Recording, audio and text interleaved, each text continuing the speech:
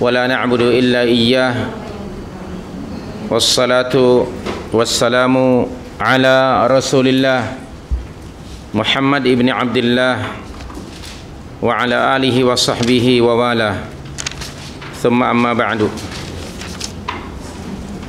Ikhwani wa akhwati Hafizakumullah Kita akan meneruskan uh, Mentadaburi Surat Al-Baqarah pagi hari ini ayat 247 ya. Okey. Kita baca lagi sekali li tabarruk. Ya. Yeah.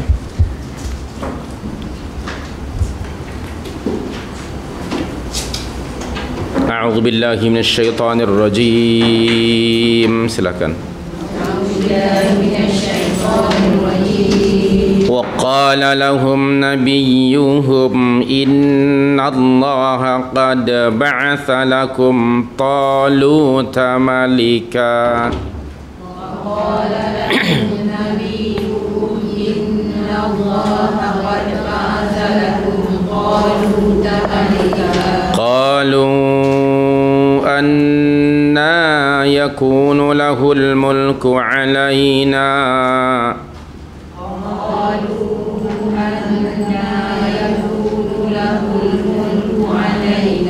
ونحن أحق بالملك منه ولم يؤت سعة من المال.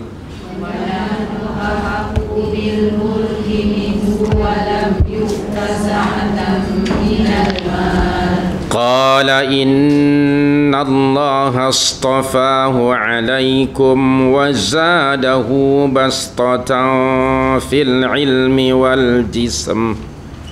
قال إن الله عليكم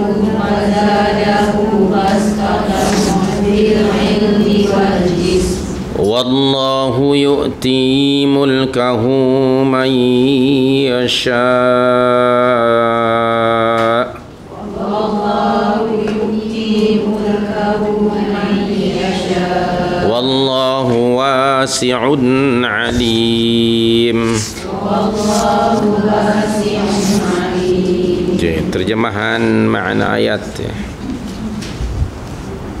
wa qala lahum nabiyuhum dan uh, nabi mereka yakni Samuel mengatakan kepada mereka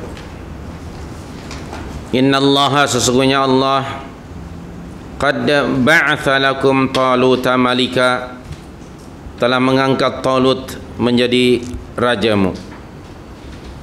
Qalu Mereka menjawab Anna yakuna lahul mulku alaina? Bagaimana Talut memerintah kami? Wa nahnu ahaqqu bil mulki minhu. Padahal kami Lebih berhak Mengendalikan pemerintahan daripadanya Walam yu'ta sa'atan minal mal Sedang dia pun tidak diberi kekayaan yang banyak. Qala Nabi mereka berkata, Inna Allah astafahu alaikum. Sesungguhnya Allah telah memilihnya menjadi rajamu. Wa zadahu dan Allah telah memberi atau menganugerahkan kepadanya bastatan fil ilmi wal jism yaitu ilmu yang luas dan tubuh yang perkasa. Wallahu yu'ti mulkahu may yasha dan Allah memberi pemerintahan kepada siapa yang dikuasai yang dikehendakinya. Wallahu wasi'un alim dan Allah Maha luas pemberiannya lagi Maha mengetahui. Okey lanjutan daripada kisah permintaan Bani Israel kepada Nabi mereka iaitu Samuel agar supaya dipilih seseorang bagi mereka sebagai raja dan uh, yang akan memimpin mereka untuk memerangi dan mengusir musuh-musuh mereka atau penjajah yang telah menjajah negeri mereka yang telah merampas harta mereka yang telah membunuh keluarga mereka dan mengusir mereka dari kampung mereka. Maka permintaan mereka itu akhirnya diperkenankan. Sekalipun Nabi Samuel tahu sangat perangai mereka. Dia bimbang jika sekiranya permintaan mereka itu diperkenankan oleh Allah nanti mereka tidak akan mentaati dan tidak akan mengikuti apa yang telah ditetapkan oleh Allah ke atas mereka yaitu berjihad fi sabilillah. Dan kemudian diperkenankanlah permohonan mereka itu dan pada ayat 247 ini di sini ada niqash atau munaqashah maknanya dialog. Ha, munaqashah itu maknanya dialog. Kalau mujadalah disebut debate ya. Mujadalah debating. Kalau munaqashah mim nun alif qaf shin dan ta bulat. Munaqashatun maknanya yakni discussion atau dialog dialog disebut munaqashah kalau dis, diskusi atau discussion disebut hiwar. Ha waw alif ra hiwarun. Disebut diskusi. Ini munaqashah dialog. So ada mujadalah ada munaqashah ada hiwar. Ha, ada juga muhadathah muhadathah tu sembang. Sembang-sembang. Itu sebut muhadathah okey atau kalam fadhi itu borak kalam fadhi itu. Borak kosong. Itu sebut kalam fadhi. Ya ini ada istilah dalam bahasa Arab seperti bahasa kita. So di sini kita perhatikan antara kriteria kita mengenali dalam satu ayat itu ada munaqashah apabila ada kalimah qala. Qalu qala qalu. Ada two ways communication ya antara dua pihak. Dan um, uslub ini susunan ataupun susunan ayat ini menjadi salah satu uslubud da'wah cara berdakwah mesti menggunakan komunikasi two ways communication munaqashah discussion and dialogue. Dan di sini Allah berfirman memberitahukan kepada kita kisah itu kisah tersebut. Wa qala lahum nabiyyuhum Eh, dan nabi mereka berkata kepada mereka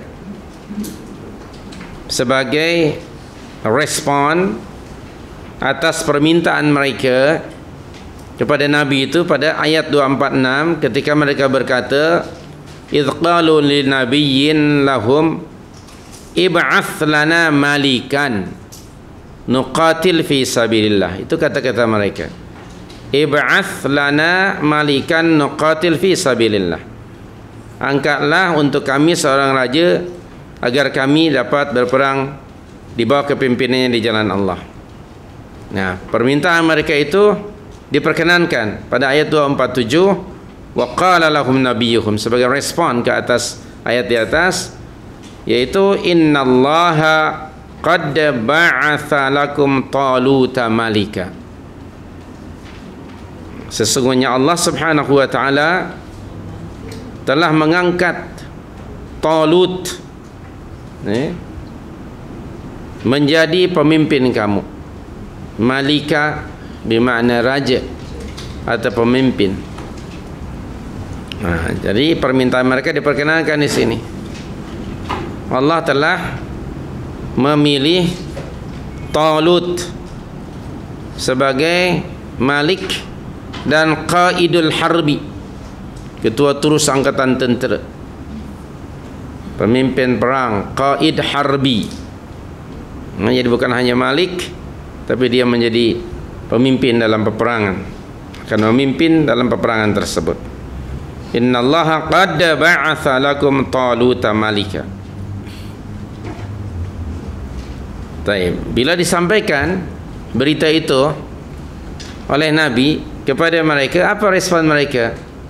Qalu anna yakunu lahul mulku alaina wa nahnu ahaqqu bil mulki minhu wa lam yu'ta sa'atan min al mal.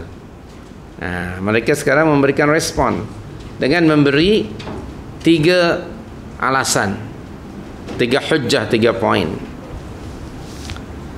Ha, nada anna yakunu lahul mulku alaina itu satu nada terperanjat takjub macam tak percaya. Bagaimana mungkin Tolut akan menjadi pemimpin kami menjadi raja ke atas kami akan memerintah kami? Terperanjat mereka. Eh?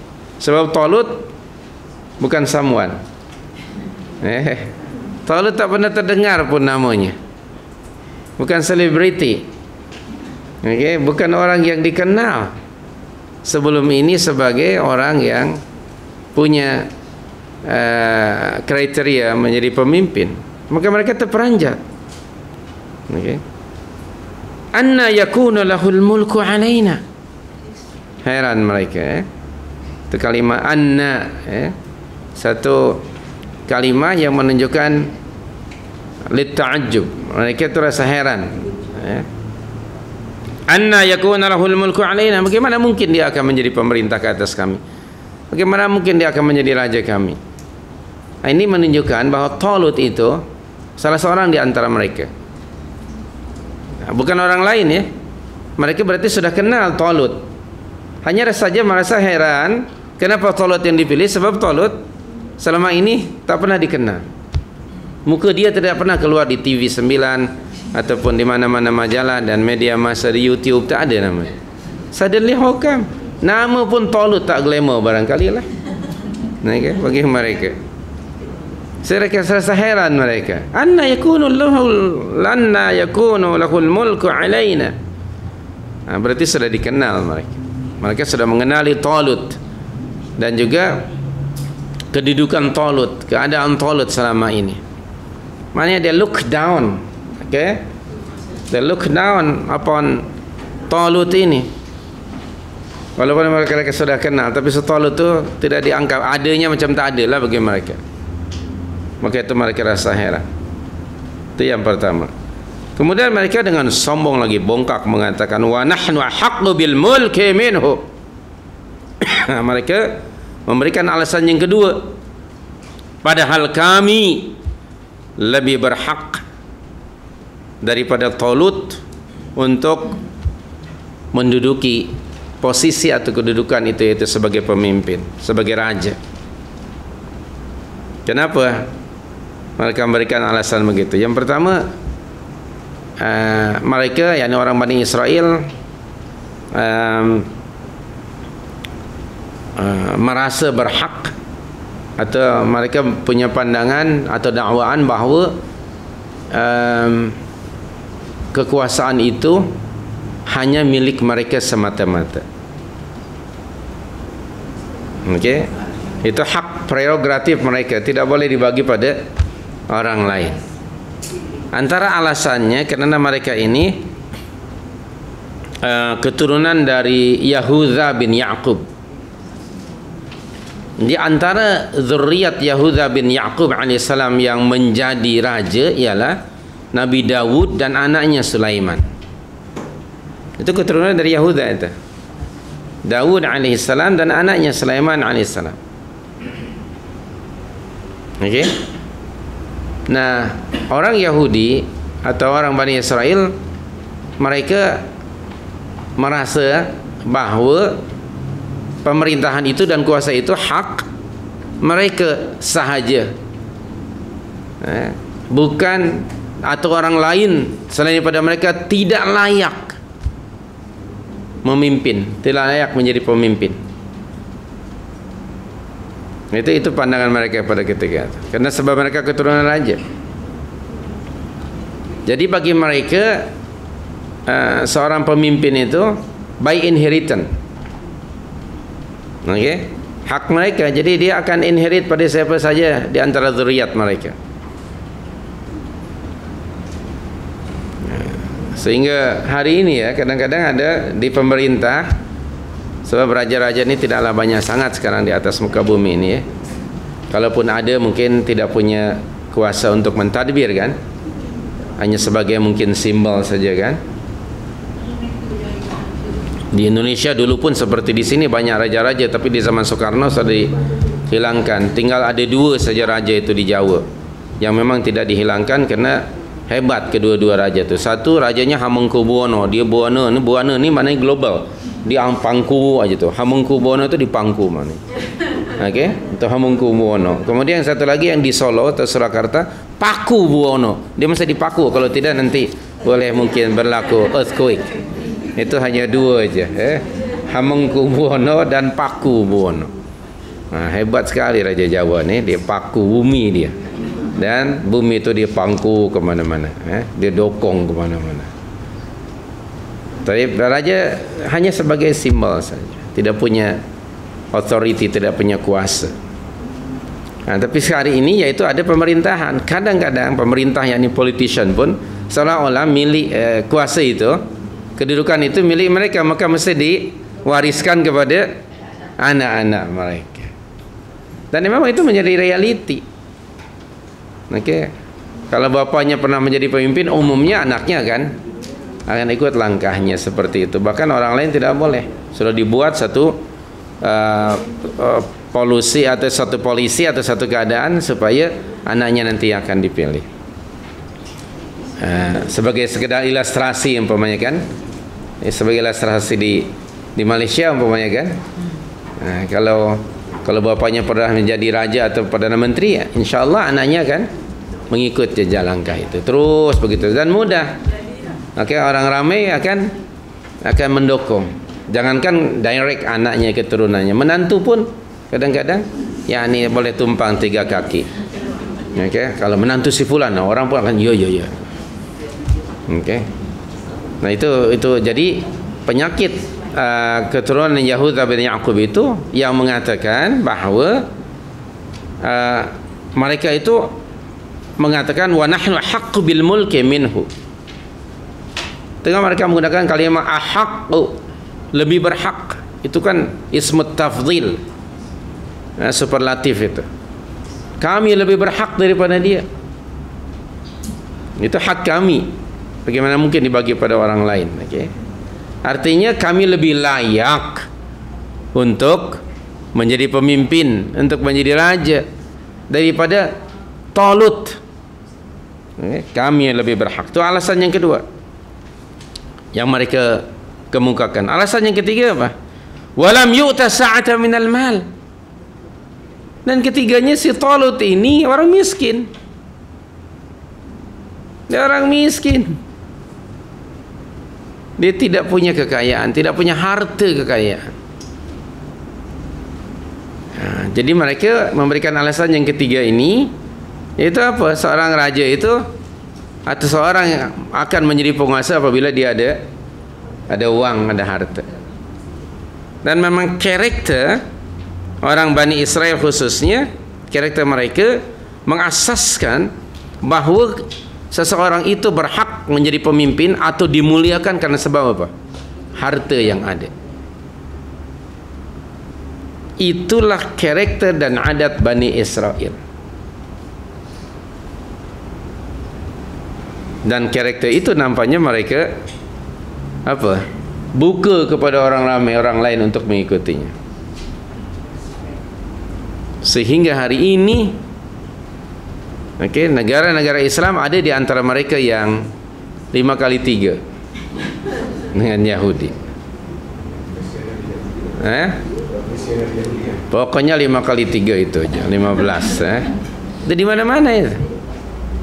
Sehingga ada istilah okay, seorang itu dan memang ya memang kenyataan yang ada kenyataan yang ada untuk menjadi pemimpin mulai dari peringkat cawangan apalagi lebih tinggi dia harus ada fulus.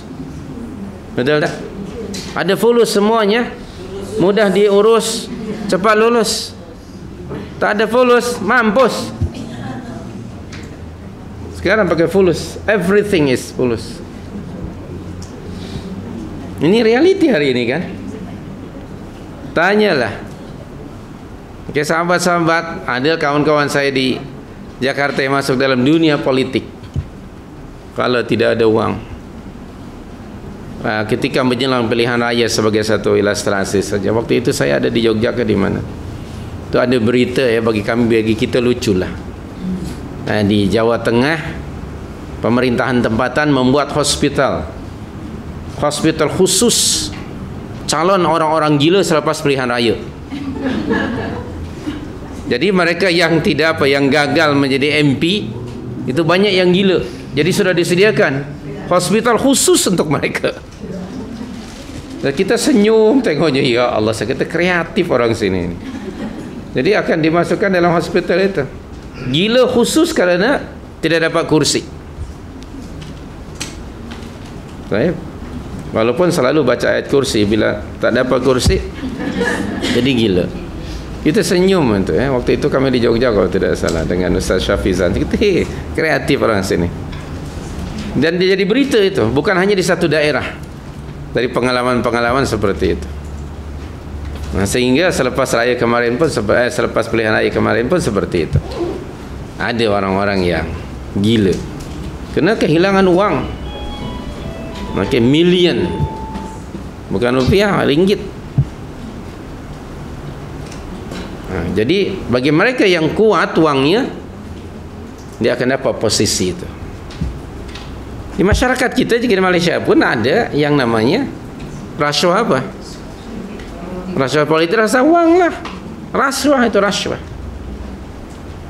Padahal kita tahu.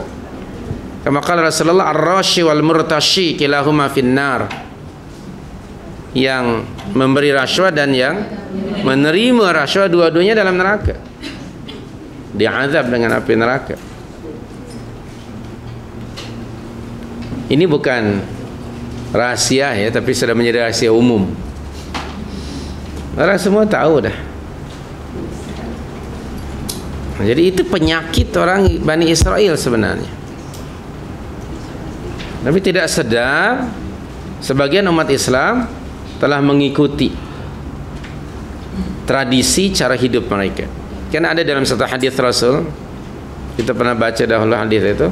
Kata Rasulullah la tattabi'anna sunana man qablakum shibran bi shibrin wa dhira'an bi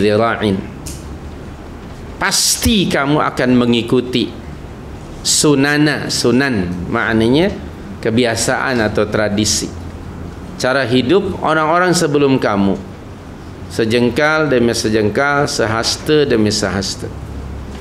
Hingga apabila ada di antara mereka masuk dalam lubang biawak yang sempit lagi bau hancing bau bau busuk akan ada di antara kamu mengikutinya. Amaran Rasul 14 abad yang lalu menjadi realiti hari ini. Padahal hendaknya umat ini berusaha untuk tidak mengikuti karakter orang-orang atau kaum sebelum kita. Yang mereka itu orang Yahudi adalah orang-orang al-maghdub alaihim tiap hari kita membaca ghairil maghdubi alaihim tiap hari tidak kurang 17 kali tetapi pada waktu yang sama cara hidup dan karakter mereka ada pada kita Antara lain dalam konteks tadi memilih siapa yang layak menjadi pemimpin kita. Antara lain orang harus ada wang. Realiti hari ini. Kalau tak ada wang jangan haraplah. Saya nasihati anak buahlah dulu di UM. Dia nak masuk nak masuk parti politik dia kata. Saya nasihati dia tetap dia nak masuk juga. Dia saya tanya parti politik mana kamu nak? fulan okey bagi kertas saya tulis saja bagi pada bosnya so bagilah pada bosnya lah dia ajilah dia ketua cawangan tapi pakai kroni lah kroni Safwan so saya pun ya dia sekarang dia kemarin nak pilihan raya saya kata you forget it lah. Because why? Kalau you hatta di daerah you pun berapa ratus ribu manusianya. Untuk setiap kali campaign mesti bawa bagi nasi bungkus kurang-kurangnya. Kemudian bagi mungkin apa t-shirt berapa. Sedangkan dia hanya sekedar lecturer berapa lah wang Jadi saya kata you you forget it lah. Lebih baik you tarbiyah saja umat. So dia tidak mungkin dan dia akan kalah kerana ada pesaing dia dari simpati yang orang-orangnya lebih banyak. Itu sistem yang ada hari ini seperti itu. Dan bila sudah mendapat kuasa, apa yang akan mereka lakukan? Mereka gunakan kuasa itu untuk apa? Untuk mengeruk segala kekayaan bagi mengembalikan modal yang sudah dilaburkan itu yang sudah dikeluarkan. Ini penyakit Bani Israel yang kerana penyakit itu mereka maghdub ay mal'un. Dilaknat oleh Allah. Ada 36 karakter. Eh asal berapa ya 36 karakter kalau salah uh, karakter orang Yahudi di dalam Al-Quran. Banyak sekali lah. Antara lain seperti itu. Mereka mengatakan di sini walam yu'ta sa'atan minal ma. Sehinggalah hari ini umumnya seperti itu ya umumnya. Orang yang layak menjadi ketua dari berbagai peringkat harus orang yang punya uang ini semuanya tiga alasan yang mereka uh, katakan kepada Nabi itu dengan tujuan untuk apa? Untuk menafikan ataupun menolak Talut menjadi pemimpin mereka. Bagi mereka Talut tidak layak untuk memimpin mereka kerana tidak punya kriteria-kriteria yang mereka sebutkan. Sebenarnya kriteria ini yang mereka buat-buat. Yang mereka buat-buat. Tidak berasaskan kepada satu hujjah balighah, hujjah yang kuat. Bahawa kriteria untuk menjadi seorang pemimpin bukan seperti yang mereka nyatakan di sini. Itu yang pertama tadi berasaskan keturunan. Eh? Keduanya adalah apa? Harta yang banyak. Kemudian apa komen Rasulullah di sini Nabi Allah Samuel tadi. Samuel ya. Qala setelah dia mendengar hujjah-hujjah yang diberikan oleh kaumnya. Maka kemudian Nabi yang mulia ini berkata kepada mereka Inna Allah astafahu alaikum. Sesungguhnya Allah subhanahu wa ta'ala telah memilihnya memilih Talut menjadi pemimpin atau raja kamu kedua wazadahu bastatan fil ilmi wal jism Allah telah menganugerahkan kepadanya keluasan ilmu dan tubuh badan yang sehat Okey, apa komen kita atas ayat ini? Um, yang pertama bahawa Talut menjadi raja itu merupakan istifa'ullah. Itu adalah pilihan Allah. Bukan si Talut itu sendiri yang menginginkan menjadi raja. Talut tidak pernah mengisi borang apalagi kempen untuk menjadi raja. Never. Taib. Dan Nabi itu pun, Nabi Samuel pun tidak pula menyenaraikan nama Talut kepada Allah untuk diangkat menjadi pemimpin atau raja. Tidak. Maka itu, Nabi ini hanya menyampaikan ketetapan Allah kepada mereka melalui lisannya itu. Inna Allah astafahu alaikum. Itu kata-katanya. Inna Allah astafahu alaikum. Istafahu istafa past tense verb root wordnya istifaun alif sad tafa alif hamzah Allah lah yang telah memilih dia menjadi raja atau pemimpin ke atas kamu kata Nabi Samuel bukan aku yang memilihnya tidak pula dia yang inginkan kedudukan itu tapi ini adalah istifaullah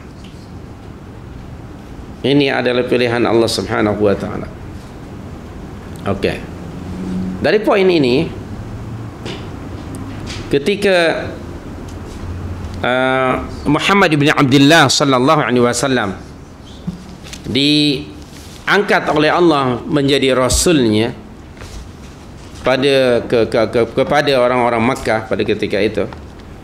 Maka orang Makkah mereka rasa heran. Dan tidak dapat menerima Muhammad ibn Abdullah sebagai rasul apa alasan mereka? Seperti orang Yahudi tadi memberikan alasan. Exactly. Okay, kerana Muhammad adalah seorang yang yatim miskin. Namanya tidak ada di dalam senarai SN sastrawan negara. Kenapa pada masa itu orang yang dihormati ialah para SN para penyair. Dan Muhammad SAW tidak pernah sekalipun dia masuk dalam apa perlombaan membuat syair maka ketika dibagi tahu bahawa Rasul adalah diangkat oleh Allah menjadi Rasul ke atas mereka mereka betul-betul rasa heran eh? seperti dan mereka juga merasakan bahawa uh, ada orang yang lebih layak daripada Muhammad sallallahu alaihi wasallam untuk menjadi rasul Allah. Uh, di dalam Al-Quran Allah Subhanahu wa taala ada uh, menyebutkan bahawa ada dua pemimpin mereka yang uh, lebih layak daripada Muhammad sallallahu alaihi wasallam untuk menjadi uh, rasul atau pemimpin mereka. Kata mereka ada rajulaini azimain. Ada dua orang yang lebih layak dari dia untuk menjadi rasul okey kenapa tidak diberikan uh, kedudukan atau kerasulan itu kepada dua orang di antara kami yang terhormat dihormati dan telah dikenal oleh uh, masyarakat mereka pada masa itu. Jadi alasan itu juga pernah dikemukakan oleh orang Israel orang Makkah uh, kepada uh, Nabi sallallahu alaihi wasallam ketika Rasulullah diangkat menjadi Rasulullah. Bahawa kata mereka ada orang ada dua pemimpin kami satu yaitu Amr bin Hisham. Amr bin Hisham itu uh, nama glamournya Abu Lahab Abu sorry Abu Jahal Amr bin Hisham itu. Amr bin Hisham tu di IC dia tapi nama uh, untuk di media tu namanya Abu Hakam mereka panggil Abu Hakam. Abu Hakam tu the wise man. Uh, tapi Rasul dan umat Islam memanggil dia sebagai Abu Jahal. Uh, dan satu lagi pemimpin uh, di di Taif. Dia ada lagi seorang di Taif yang bagi mereka juga lebih lebih uh, berhak untuk uh, memimpin uh, mereka uh, saya lupa dalam satu ayat itu bahawa ada rajulaini dua orang azimaini yang mulia dan terhormat di antara kita. Fa'ala kulli hal bahawa uh, alasan yang dikemukakan oleh Bani Israel di zaman Nabi Samuel ni juga dikemukakan oleh penduduk Makkah kepada Muhammad sallallahu alaihi wasallam ketika Rasul menyatakan bahawa dia itu adalah utusan Allah Subhanahu wa taala. Ha, mereka menggunakan alasan yang sama. Padahal kedua-dua kaum itu tidak pernah saling berjumpa. Dua generasi yang yang berbeza dan jauh dari sudut destinasi dan juga kehidupannya tahun kehidupan mereka amat sangat jauh tetapi ternyata alasannya mereka berikan itu adalah uh, sama ya ini menunjukkan bahawa uh, alasan orang-orang yang uh, mengingkari ketetapan Allah itu sepanjang masa akan sama saja walaupun mereka tidak saling berjumpa antara satu dengan yang lainnya. Jadi kembali tadi innallaha astafahu alaikum uh, sungguhnya dia telah Allah telah memilih dia sebagai raja atau pemimpin ke atas kamu. Uh, Okey, dan kedua poin kedua dari ayat ini bahawa uh, memilih seseorang atau tidak memilih seseorang menjadi raja itu itu adalah hak prerogatif Allah. Allahumma malikal mulki. Tu'til mulka man tasha. Wa tanzi'ul mulka mimman tasha. Wa tu'izzu man tasha. Wa tudhillu man tasha biyadikal khair. Innaka ala kulli syai'in qadir. Jadi hak untuk mengangkat seseorang itu menjadi raja ataupun tidak memuliakan atau menghinakan menjadikan seorang itu kaya atau miskin itu semuanya hak Allah Subhanahu wa taala. Jadi bukan bukan bukan hak manusia itu adalah hak Allah Subhanahu wa taala. Maka alasan yang mereka berikan tidak dapat diterima. Karena itu merupakan istifa Allah Subhanahu wa taala.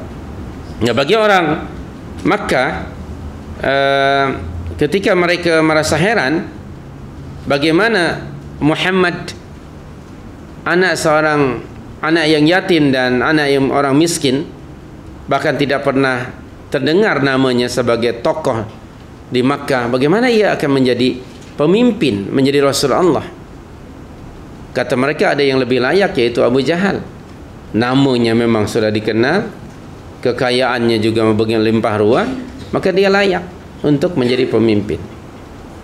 So sebenarnya Muhammad sallallahu alaihi wasallam dan Rasulullah yang lain itu mereka juga orang-orang yang telah dipilih oleh Allah Subhanahu wa taala.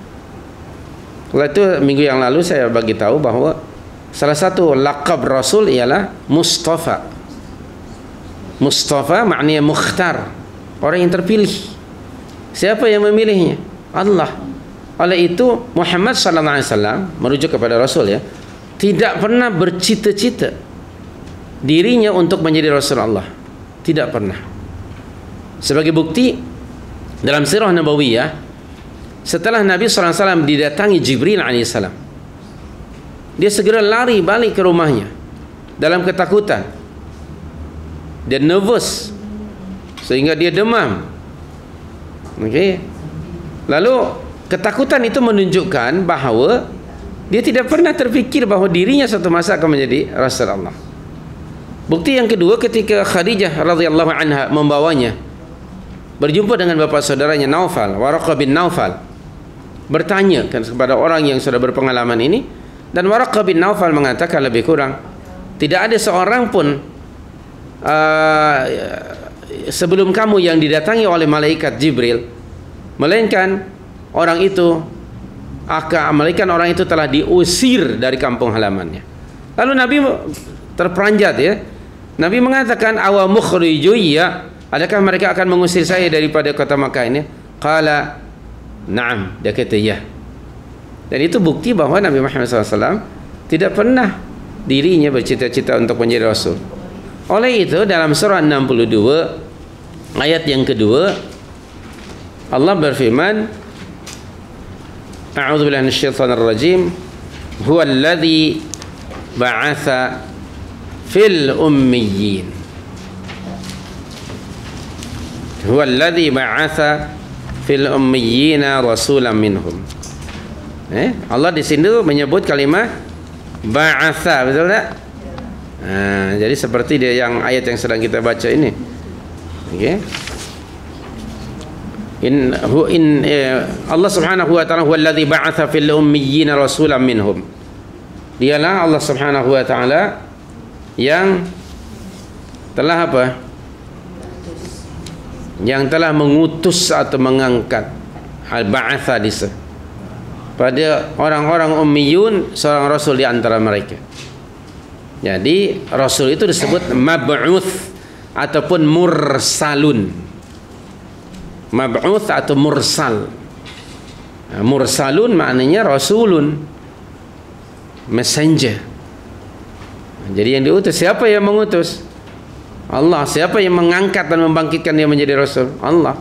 Soal itu tidak boleh manusia mengemukakan alasan untuk menolak pilihan Allah ke atas seseorang menjadi raja atau apalagi menjadi rasul. Itu adalah hak Allah Subhanahu wa taala. ayat tadi yang saya cari-cari baru jumpa ni iaitu surah 43 ayat 31 uh, orang-orang Makkah memberikan alasan bahawa ada dua orang yang lebih layak daripada Muhammad untuk menjadi rasul ya. Di dalam surah Az-Zukhruf surah 43 ayat 31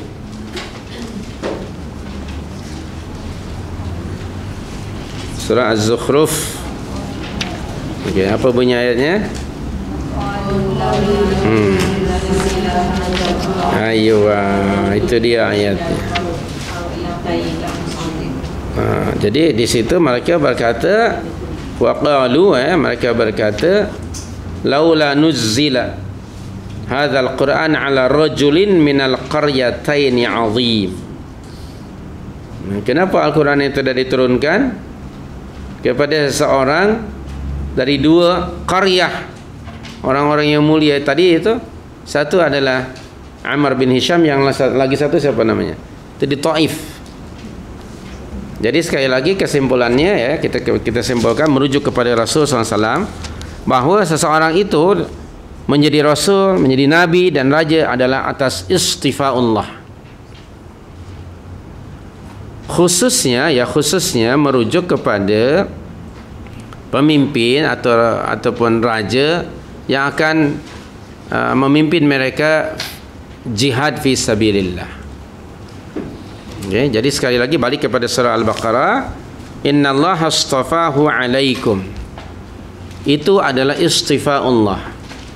Nah, apa sikap umat apabila Allah telah memilih seseorang menjadi nabi menjadi rasul atau penguasa seperti dalam ayat ini? Tiada kewajiban umat melainkan al-imtithal wa ta'ah. Taat menerima pilihan Allah dan mentaati uh, kepimpinan itu. Mentaati pemimpin tadi. Nah dalam konteks kerasulan Muhammad sallallahu alaihi wasallam Allah telah memilih Muhammad sallallahu alaihi wasallam. Juga rasul-rasul yang lainnya. Nah sikap umat hanya menerima mengikuti eh, dan uh, menjalankan titah perintah rasul itu um, jangan jangan punya sikap seperti Bani Israel yaitu menolak pilihan Allah dengan mengemukakan alasan-alasan yang sebenarnya bukanlah ilmu. Itu hanya emosi atau ataupun disebut uh, uh, sombong lagi bongkak. Nampak kesombongan dan kebongkakan mereka itu ketika mereka tadi mengatakan walam yu'ta sa'ata minal mal. Sementara pilihan Allah apa kriteria yang ada pada Talut sehingga dipilih oleh Allah menjadi raja bagi mereka? Antara kriterianya apa di sini? Ada dua. Yaitu wazadahu bastatan yang pertama fil ilmi keduanya wal jism. Ini dia kriteria seseorang diangkat oleh Allah Subhanahu wa taala untuk menjadi raja atau rasulnya dua perkara yang pokok di sini yaitu sa'atan uh, ataupun bastatan fil ilmi wal jismi. Hmm? ini kriteria yang amat sangat pokok ataupun penting mesti ada pada seorang pemimpin dalam berbagai peringkat sebenarnya. Kita boleh gunakan kepimpinan ini dalam dalam arti yang luas. Merujuk pada uh, majalah As-Sunnah di sini ada tentang uh, kriteria pemimpin yang ideal. Uh, penulis buku ini, penulis majalah ini ataupun topik ini merujuk kepada Imam Al-Mawardi rahimahullah di dalam kitabnya Ahkamus Sultaniyah. Ini seorang alim menyebutkan syarat-syarat seseorang menjadi pemimpin antara lain sambungan daripada ayat tadi ya. Ini tambahan. Yang pertama, pemimpin itu mesti seorang pemimpin yang adil dalam tindak tanduknya. Mesti adil pemimpin itu. Keduanya kata Amal Mawardi ialah ilmu yang luas yang dapat eh, bagi pemimpin itu berijtihad agar ia dapat berijtihad dalam menetapkan permasalahan kontemporer dan hukum-hukum. Itu keluasan ilmu agar supaya si pemimpin itu mampu berijtihad dan mampu memberi solution ke atas masalah-masalah kontemporer yang terkini. Kerana pada setiap generasi umat ataupun negara dan negeri akan ada isu-isu semasa. Maka uh, diperlukan uh, seorang pemimpin yang bastatan fil ilmi. Sehingga dia mampu berijtihad. Masalah demi masalah kan setiap setiap saat ya setiap hari ada saja masalah yang baru. Kita di Malaysia ni macam-macam social problem makin hari bukan makin berkurang. Makin bertambah dan belum ada solving problemnya. How to solve all kind of these problems eh? kerana kita belum ada yang sa'atan fil ilmi. Kalau ada pun hanya sekadar teori kita hanya baru mampu berseminar. Okay? di atas jadi yang kerja itu kertas bukan kita. Maka disebut kertas kerja. Kertas yang kerja bukan kita kalau kertas apa dia boleh buat? Hanya dibukukan lepas itu dijual. Sementara umat sedang memerlukan solution. Dan di sini kita diperlukan bastatan fin ilmi. Kalaupun tidak uh, apa individu tertentu mungkin ada satu kelompok yang disebut bahasa sekarang apa think tank ke apa istilahnya. Harus ada orang-orang yang memang disebut mufakkir. Ahli fikir. Mesti ada mufakkirun. Orang lain maksudnya non muslim memang mereka telah ada. Kita orang muslim ni belum ada nampaknya. Yang saya tahu lah kelompok satu kelompok mufakkirun yang sangat kredibel. Dan orangnya memang sangat terikat dengan ketentuan ilmu independen dia tidak punya uh, kepentingan ataupun bias ke sana kemari. Ini umat sedang memerlukan orang-orang seperti ini. Mufakkirun. Orang yang alimun minta maaf ya. Orang yang alim tu ramai. Knowledgeable ramai. Tapi mufakkir. Thinker. Nah, itu agak kurang. Nah harus ada kelompok ini pada mana-mana muslim community dan jangan diberikan tugas yang lain kecuali untuk berfikir. Orang-orang seperti itu. Harus ada itu. Mufakkirun. Think tank mesti ada kelompok dalam berbagai aspek kehidupan. Supaya setiap kali timbul permasalahan di masyarakat akan ada solusinya. Yang menyangkut apa saja. Harus ada. Dan mereka tentu harus diberi facility oleh pemerintah seperti mana kita dapat memberi facility kepada para penyanyi. Okay, dan bintang filem kenapa tidak kepada thinkers? Mesti ada orang-orang seperti ini. Dalam setiap aspek especially kita sebagai muslim community. Agar setiap kali perkara yang timbul kita akan mendapatkan guideline, guidance dan pandangan dari mereka yang kredibel. Okey, ini kita kita belum punya nampaknya. Saya tak ya, setakat yang saya tahu seperti itulah. Sehingga umat kadang-kadang bingung ke mana mereka akan merujuk? Pada siapa harus bertanya? Kalaupun dia bertanya kepada orang lain sefulan mungkin akan menjawab begitu fulan lain akan menjawab begini. Lagi bingung dia. Ini mesti ada al-mufakkir. Mufakkirun mesti ada. Thinkers. Yang benar-benar mereka orang-orang yang mutafaqih yang benar-benar pakar dalam ha, dalam dalam satu-satu yang ni eh, apa namanya ilmu pengetahuan. Ya, saya masih ingat di di di Indonesia tu ada think tank tapi yang dimiliki oleh di zaman Soeharto dan most of them non muslim ketika itu.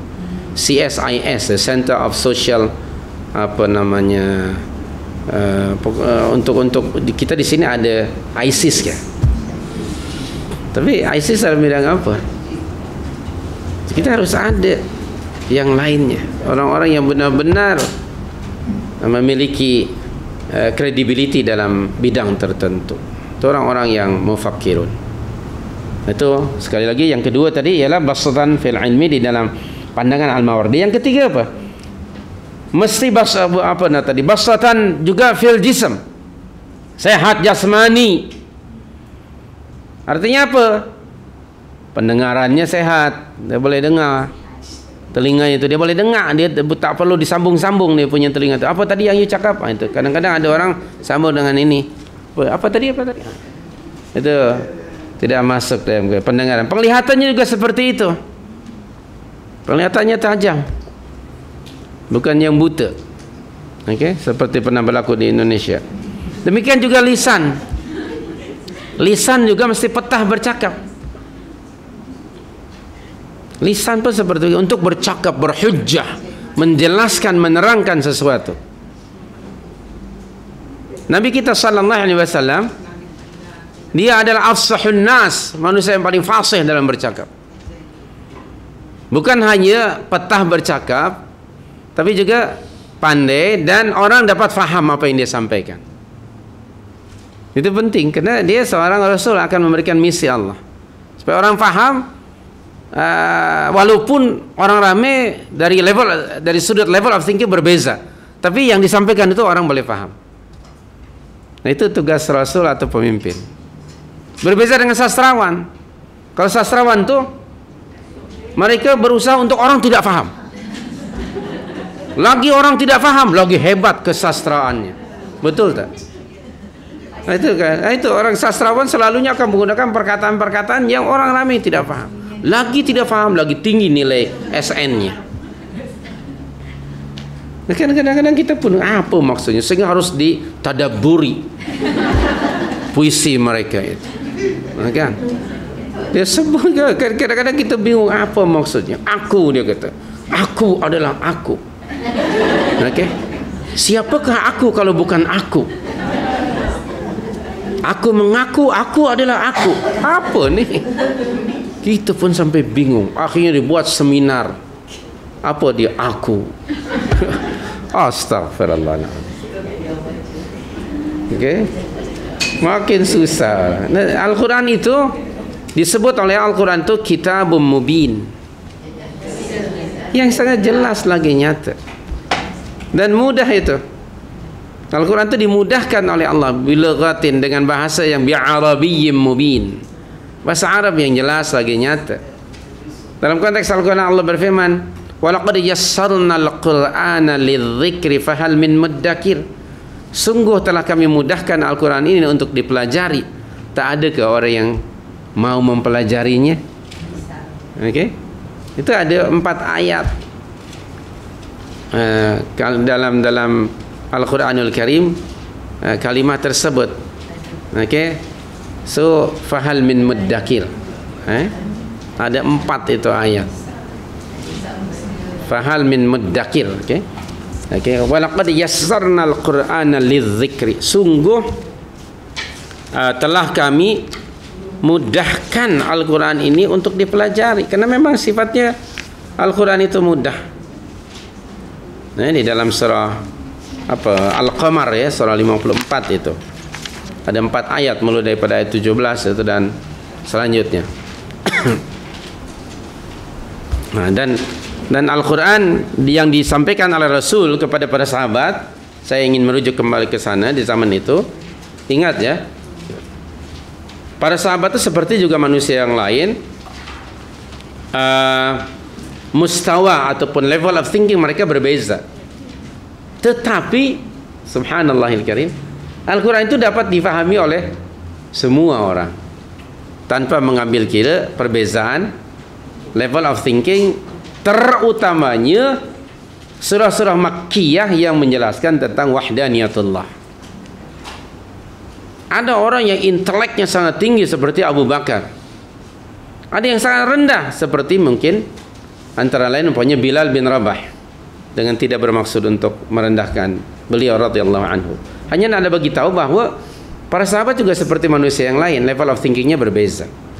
tetapi dalam konteks menjelaskan wahdaniyatullah mereka punya keimanan yang sama. Eh, solidnya iman mereka. Nah ini uh, bastatan tadi fil jismi ya. Jadi sekali lagi harus kriteria yang ketiga kata Al-Mawardi ialah sehat jasmani berupa pendengaran, penglihatan dan lisan. Agar ia dapat langsung menangani tugas kepimpinan. Um, Allah lebih mengetahui ya. Allah itu telah mengangkat adik-beradik menjadi rasul pada waktu yang sama. Musa dan Harun. Salah satu kelemahan Nabi Musa dia kalau bercakap kurang betah. Maka dia mohon kepada Allah supaya mengangkat saudaranya itu menjadi wazir dia. Wahlul 'uqdatam min lisani yafqahu qawli. Itu penting. Seorang pemimpin mesti sehat jasmaninya termasuk tadi boleh bercakap. Dan tentu saja dia harus mampu menggunakan bahasa yang yang dipahami oleh orang ramai ya. Kemudian yang berikutnya kata Al-Mawardi yang keempat um, kriteria pemimpin menurut beliau yang normal yang tidak cacat bukan orang yang oku ya orang kurang upaya. Yang tidak akan menghalanginya untuk bergerak dan berkreasi. Jadi dia harus orang yang normal physically. Tadi sebut bastotan fil jismi ya. Um, sehat tubuh badannya dan bahkan ada juga di zaman itu ya di zaman ayat ini dibaca yang kita baca yaitu surah al-baqarah bastotan fil ilmi termasuk di zaman Hercules ke yang badan harus apa sasa disebutnya ya. apa badang ke apa istilah eh? di zaman itu kekuatan fizikal oke okay? orang kalau badannya sasa begitu orang musuh pun akan rasa takut saya terbaca mungkin anda pun pernah terbaca kita kan Nabi Tawaf eh, dan orang-orang musyrikin pemimpin mereka ada di Makkah. Ketika di, di, di bahagian eh, mengelilingi Ka'bah atau tawaf itu mereka sedang ada di situ maka Nabi menunjukkan dengan jalan yang yang gagah kan? Betul tak? Ya dia menunjukkan seperti itu. Agak cepat jalan dan gagah. Karena memang sengaja untuk menunjukkan kekuatan fizikal kepada musuh. Kadang-kadang ada musuh yang melihat uh, sasa badan orang itu dia pun gerun kecut. Melihat Iron Man kan? Dia oh Iron eh? Orang gagah perkasa. Sehingga hari ini kadang-kadang kita pun ada sedikit sebanyak kan tengok orang badan lebih besar dari kita kadang-kadang kita kecut. Ya kan? Kadang-kadang kita kecut tengok oh Allah besarnya orang ini nah, ada juga kesannya. Walaupun di zaman kita tentu saja itu bukan menjadi kriteria yang utama. Karena sekarang ialah tadi maka itu anda perhatikan di dalam ayat yang sedang kita baca wazadahu bastatan fil ilmi dahulu baru wal jism. Ilmu dahulu baru jismun. Okey. Nah di zaman Hercules dahulu dia badan. Okey harus gagah perkasa. Sekarang tidak. Sekarang orang yang badannya sasa itu hanya untuk dipertontonkan di depan orang ramai. Okey. Apa bodybuilder itu kan nah, dia bukan untuk bertumbuk dengan orang hanya untuk menunjukkan aja masalnya itu di hadapan orang lain okey jadi sekali lagi bastatan fil ilmi wal jism. Dia harus normal orangnya. So kalau dilihat dari kriteria ini sebetulnya uh, Gus Dur yang pernah jadi presiden Indonesia itu tidak masuk dalam kriteria. Tapi ketika itu mungkin terpaksa ya hasilnya memilih dua madarat mana yang lebih ringan di antara kedua madarat. Barangkali seperti itu.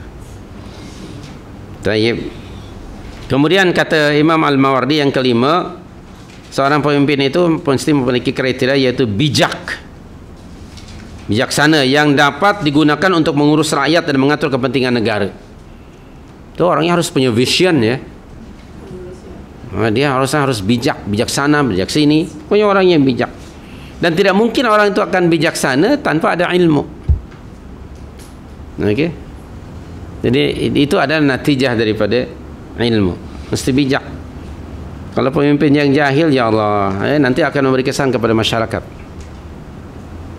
yang keenam kata Al-Mawardi yaitu kriterianya yang keenam ialah keberanian yang dapat digunakan untuk melindungi wilayah dan memerangi musuh. Mesti berani mengambil tindakan. Nah, bagi kita hari ini kalau dalam konteks tadi ya melindungi wilayah dan memerangi musuh, memang ini diperintah oleh Allah. Kalau Anda masih ingat surah 8 ayat 60, itu perintah dari Allah kepada orang-orang mukminin untuk menyediakan uh, uh, senjata-senjata yang dengannya akan menjaga wilayah negara Islam keduanya untuk memerangi musuh yang hendak memerangi. Itu pada surah 8 ayat 60 apa bunyi ayatnya? Wa a'iddu lahum mastata'tum min quwwatin wa min ribatil khayli turhibuna bihi aduwallahi wa aduwakum wa akharin min dunihim la ta'lamuhum Allahu ya'lamuhum wa ma tunfiqu min syai'in yuwaffa ilaikum wa antum la tudzamun itu perintah wa'iddu lahum masata'tum sediakan oleh kamu wahai orang-orang yang beriman segala kekuatan. Antara lain kekuatan persenjataan maka negara Islam mesti memiliki kekuatan itu. Eh, saya selalu katakan hal itu ya itu kata Imam Al-Mawardi. Jadi kesimpulannya tadi dalam Al-Quran bastatan fil ilmi wal jismi. Sementara Muhammad Al-Amin Al-Shanqiti, Syekh Al-Shanqiti rahimahullah, beliau menjelaskan pemimpin haruslah seseorang yang mampu menjadi qadhi, menjadi hakim bagi rakyatnya. Haruslah seorang alim mujtahid, dia mesti seorang alim mujtahid yang tidak perlu lagi meminta fatwa kepada orang lain dalam memecahkan uh, kes-kes yang berkembang atau yang timbul di tengah-tengah masyarakat. Jadi seorang pemimpin mesti juga menjadi seorang qadhi. Dan kalau anda baca antara uh, sejarah ya raja-raja Melayu di Nusantara, dahulu mereka punya latar belakang keilmuan agama sehingga mereka menjadi qadhi. Okay itu dia kata Imam uh, Muhammad Al-Amin Asy-Syanqiti pemimpin masih seorang yang mampu menjadi qadhi. Sementara Ibnul Muqaffa di dalam kitab beliau Al-Adabul Kabir wal Adabus Saghir menyebutkan bahawa kriteria seorang pemimpin itu eh, antara lain kata beliau uh, yang harus diketahui oleh seorang pemimpin ialah tanggungjawab kepimpinan merupakan sebuah ujian yang besar. Ha, jadi di dalam Islam ini sebenarnya kuasa dan kepimpinan itu adalah mas'uliyah, responsibility.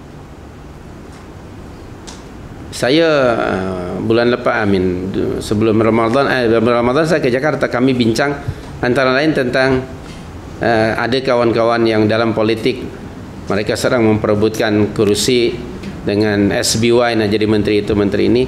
Kata sahabat saya mereka tengah ada sharing power.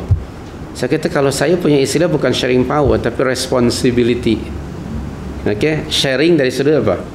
Responsibility bukan power ya bukan power sharing tapi responsibility sharing. Kalau sudah power okay, masih seimbang dan akan ada berebut. Sekurang-kurangnya satu mungkin 59 yang lain 41 okay, mesti ada yang major kan? Saya sebenarnya bagaimana kalau kalau sharing dalam bentuk mas'uliyah responsibility. Sebab di dalam hadis yang pernah kita baca Rasulullah menyebut kullukum ra'in wa kullu ra'in atau wa kullukum mas'ulun an ra'iyatihi.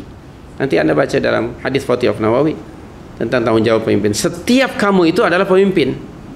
Dan tiap-tiap pemimpin akan disoal diminta pertanggungjawaban tentang kepimpinannya. Jadi kepimpinan di dalam Islam ialah mas'uliyah. Responsibility keduanya amanah dan ketiganya merupakan bala ujian dugaan dari Allah. Soal itu tidak heran para salafus saleh ada di antara mereka yang menolak apabila diberi kepimpinan tanggungjawab apabila mereka tahu diri bahawa itu sangat berat Bagaimana Umar radhiyallahu anhu ketika para sahabat yang menjadi ejek pemilihan siapa yang akan menggantikan setelah Umar meninggal dunia nanti dari enam orang yang ditapis salah seorangnya Abdullah bin Umar. Dia minta diconteng nama anak dia. Cukuplah aku saja yang akan yakni uh, apa istilahnya yang akan dibakar oleh api neraka. Jangan kau humbankan anakku bersama. Jadi dia nak menyatakan bahawa betapa kepimpinan dalam Islam bukan glamour yang harus dibanggakan tetapi ia merupakan mas'uliyah yang akan diminta pertanggungjawaban oleh Allah nanti di akhirat. Kalau seorang suami pun akan diminta pertanggungjawabannya oleh Allah nanti di akhirat tentang kepimpinannya terhadap ahli keluarganya. Begitu juga seorang istri, bahkan seorang pembantu rumah tangga. Jadi itu disebut bala dugaan ataupun ujian. Okay. Allah sedang menguji kepada pemimpin Maka di dalam sebuah hadis Nabi nanti anda boleh baca di dalam uh, kitab Riyadhus Salihin. Antara tujuh golongan manusia yang akan mendapat perlindungan Allah pada hari yang tiada perlindungan melainkan dari Allah hari kiamat. Yang pertama sekali ialah imamun adilun. Pemimpin yang adil. Dan termasuk orang pertama yang Allah akan menyalakan neraka dengannya ialah pemimpin yang zalim. Semoga itu kepimpinan bukan sesuatu yang harus diperebutkan. Kerana ia adalah mas'uliyah. Namun sampai ke zaman kita berapa orang di antara pemimpin yang menyadari bahawa kepimpinan itu adalah mas'uliyah? Kalau ada 10 orang, ada 5 orang yang menyadari itu atau enam orang Nothing barangkali mostly tidak sedar itu sebagai mas'uliyah jadi sekali lagi ini harus tanggungjawab dan itu merupakan bala minallah Kata beliau seorang pemimpin harus punya empat kriteria. Keempat kriteria inilah sebuah kepimpinan yang akan tegak yaitu tepat dalam memilih, keberanian dalam bertindak, pengawasan yang ketat dan keberanian dalam menjalankan hukum ataupun undang-undang. Jadi ternyata itu ada antara kriteria banyak lagi kriteria-kriteria ini yang diberikan oleh para ulama dari uh, firman Allah wa zadahu bastatan fil ilmi wal jismi. Kalaupun tidak seorang pemimpin atau seorang diri, maka dia harus ada pembantu-pembantunya. Harus ada al-wuzara, uh, menteri-menteri. Kalau anda ada kitab Riyadhus Salihin, uh, pada topik yang terakhir pada volume yang pertama uh, antara lain uh, mafhum sebuah hadis di situ itu tentang kepimpinan ya. Apabila Allah menyayangi seorang pemimpin maka Allah akan memilih bagi pemimpin itu pembantu-pembantu yang jujur lagi benar. Menteri-menterinya yang jujur. Itu tanda Allah suka kepada pemimpin itu. Ya Rabb ya Karim nak mencari pemimpin seperti itu di zaman kita yang jujur benar-benar jujur bersih gitu susah betul. Okay, yang benar-benar Mr. Clean atau yang bersih memang susah. Cari cari cari cari tak ada. Terpaksa di recycle yang ada.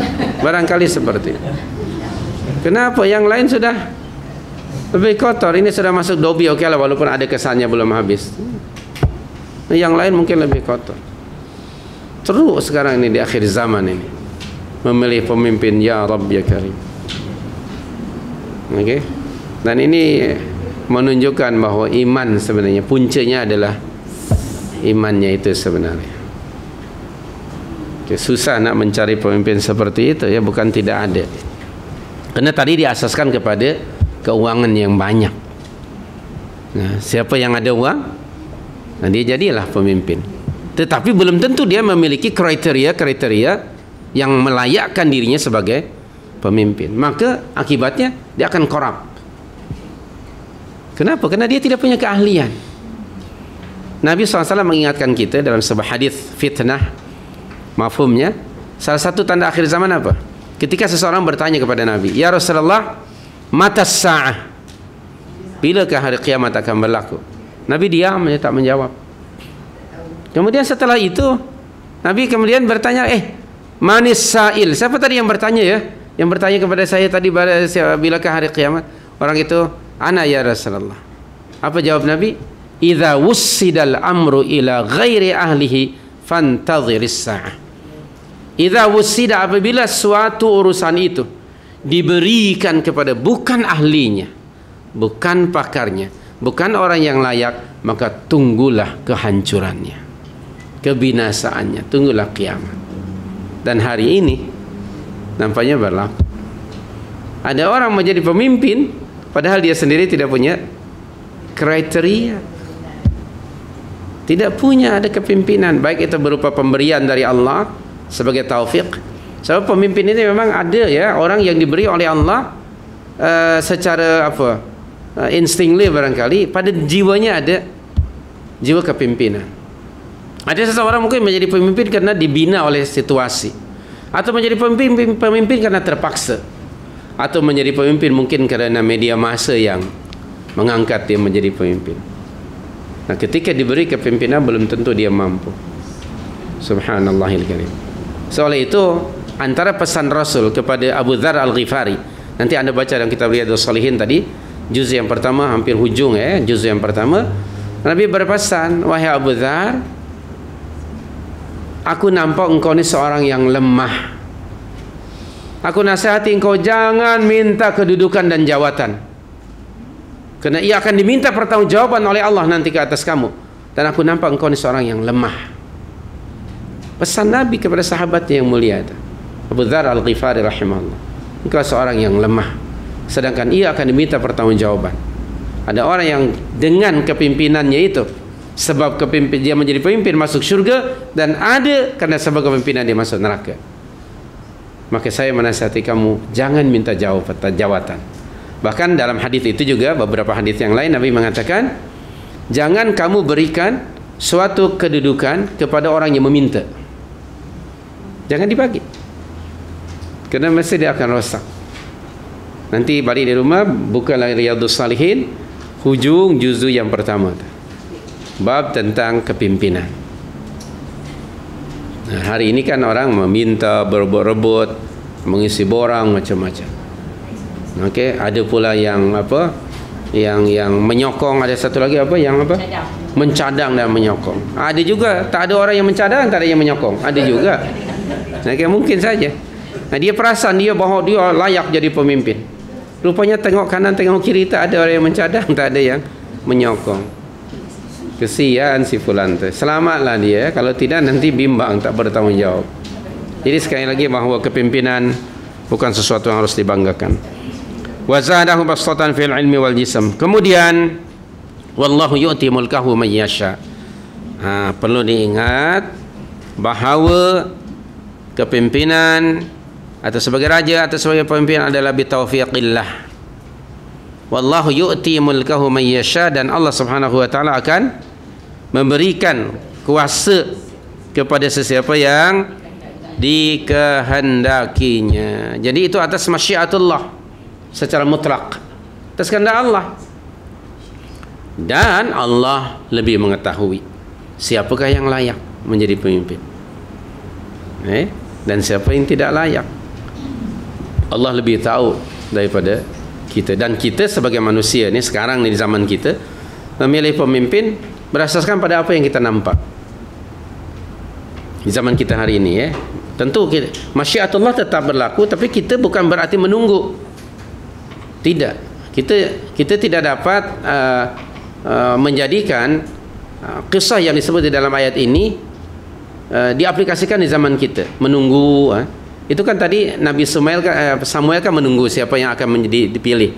Ternyata Talut. Bagi kita sekarang bukan Allah directly yang memilih kita harus berusaha soal itu Allah meminta kepada kita sebagai orang mukminin pilihlah pemimpin itu from among yourself ingat surah 4 ayat 59 itu wa ulil amri minkum itu ayat yang penting sekali dalam memilih kriteria pemimpin. Surah 49 ayat surah 4 ayat 59. Betul tak? Ya. ayyuhalladzina amanu atii'u Allah wa atii'ur rasul wa ulil amri minkum. That's the word. Wa ulil amri minkum. Itu yang pertama. Apa kriteria yang pertama? Orang mukmin. Orang mukmin keseluruhannya. Tanpa Allah menjelaskan kepada kita degree keimanannya. Nah, setiap orang tentu degree keimanannya berbeza kan? Pokoknya dia mukmin dahulu tentang degree keimanannya tentulah nanti kita yang tahu yang memilih siapa yang lebih. Tapi yang pasti wa ulil amri minkum. Bukan minhum. Nah baru nanti kriteria kriteria yang lainnya. Nah, sistemnya sekarang sudah berubah ya. Jadi sekali lagi itu adalah masyiatullah karena Allah Subhanahu wa taala. Oleh itu di hujung ayat Allah berfirman wallahu wasi'un. Allah itu maha luas pemberiannya atau karuniaannya akan diberi kepada siapa saja. Baik antara lain berupa apa jawatan atau kerajaan ataupun uh, kepimpinan. Itu adalah um, dari sifat Allah. Masa keduanya alim. Allah lah maha mengetahui siapakah yang layak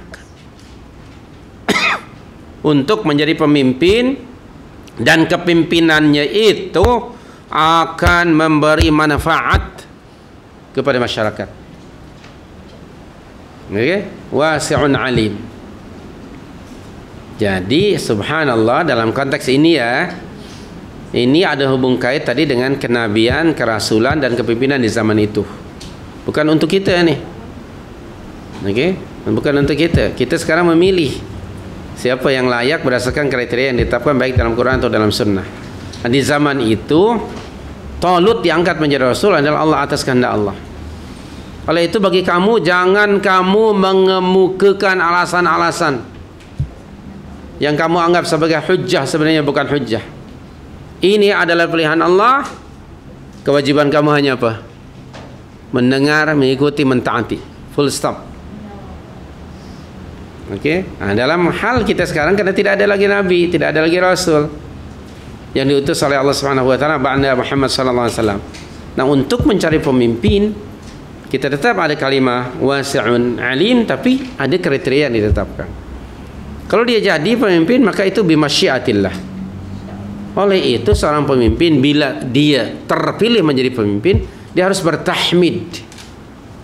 Bertahmid kepada Allah. Ucapkan hamdalah. Abu Bakar As-Siddiq ketika memberi ucapan kali pertama setelah dibaiat menjadi khalifah Rasul yang pertama dia kata laqad wullitum anda telah memberi kuasa kepimpinan kepada saya. Walastu bi khairikum. Pada saya not I am not the best among of you. Nah, tengok ya setelah dia bertahmid dia berkata seperti saya bukan orang yang terbaik di antara anda. Tapi anda telah memberikan kepercayaan kepada saya maka taatilah ikutilah saya selama saya mengikuti Al-Quran dan Sunnah. Dan anda tidak wajib mentaati saya jika saya keluar menyeleweng daripada Quran dan Sunnah. Itu kata-kata Abu Bakar As-Siddiq radhiyallahu anhu. Umar pun demikian mengatakan. Antara lain kata beliau jika anda sekalian melihat dalam saya memimpin anda saya menyeleweng daripada Al-Quran dan Sunnah faqawwimuni. Maka luruskanlah aku. Betulkanlah aku. Berdirilah seorang pengembala kambing jangan menghunuskan parangnya dan berkata wahai Amirul Mukminin sekiranya dalam kepimpinan anda kami dapati anda menyeleweng dari Al-Quran dan Sunnah maka parang ini yang akan meluruskan anda di depan orang ramai ni. Dan Umar mengatakan Alhamdulillah segala puji bagi Allah yang telah memberi nikmat kepada saya rakyat yang punya responsibility kepada pemimpinnya. Sebab sebetulnya baik itu pemimpin atau yang dipimpin mesti ada apa? Ada timbal balik ada saling apa? Saling saling mengisi ya. Dan mesti saling ingat mengingatkan Demikian eh, ayat ini menjelaskan kepada kita kesimpulannya. Antara lain ya kalau kita lihat dari ayat sebelumnya bahwa jihad fi sabilillah sesuatu yang memang yang diwajibkan sejak dari dahulu lagi termasuk pada kita tetapi mesti ada i'dad ada persediaan. Baik dari sudut material fizikal ataupun mental spiritual ilmu dan juga tarbiyah. Okey. Uh, kemudian tentang kerajaan kepimpinan ia bukan sesuatu yang diwarisi. Eh, bukan kerana pula seorang pemimpin itu layak menjadi pemimpin kerana dia seorang yang kaya tidak. Tapi seorang pemimpin mesti memenuhi kriteria-kriteria yang sudah kita sebutkan tadi. Yaitu antara lain bastatan fil ilmi wal jism. Kemudian juga ayat ini menjelaskan kepada kita tentang karakter atau sifat pemimpin dan juga yang dipimpin. Ya.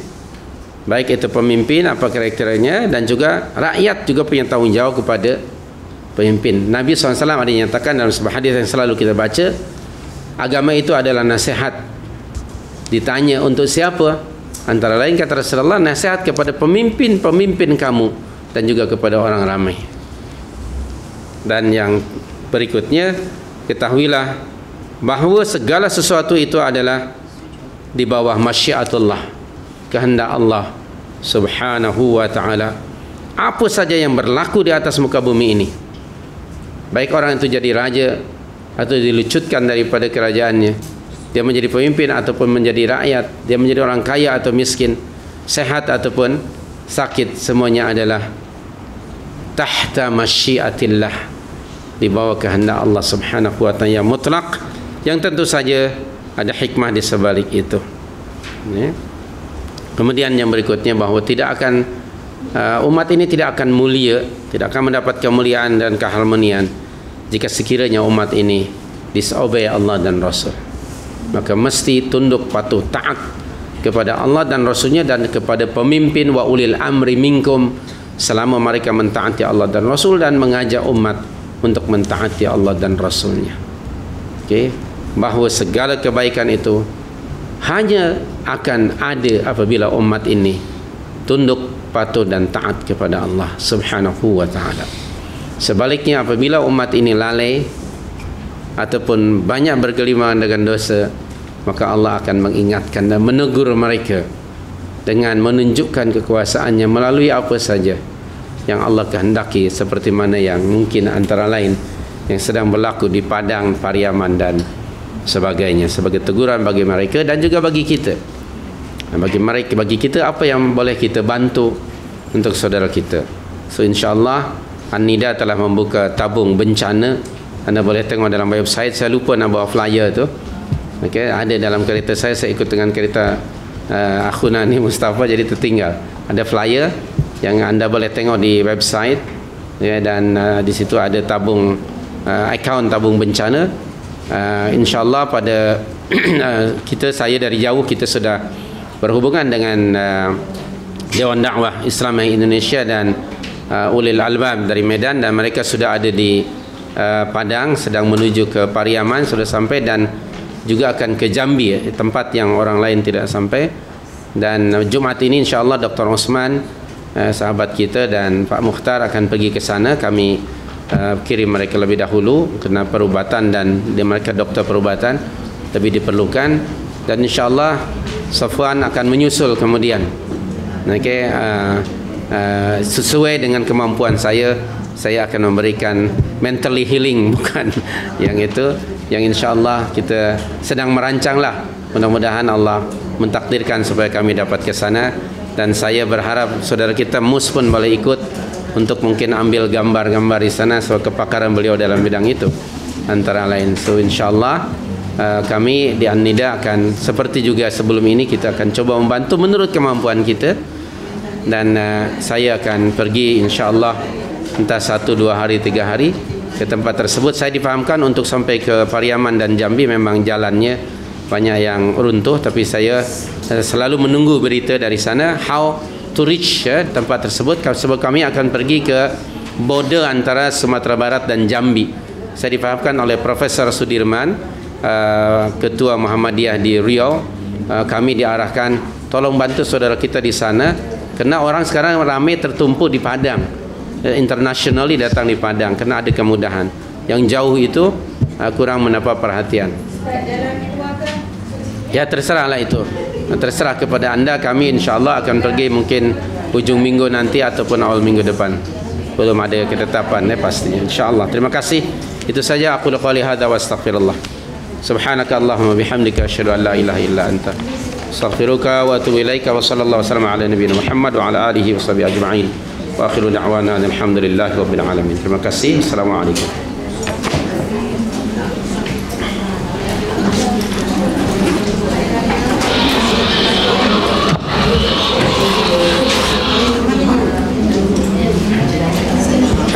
Zaki wa alaihi salam. Ya. Jazakallah khair. Dia tu eh, kelas 5, kita tunda hmm. ke buku keempat kalau ustaz tak dapat penghalangan.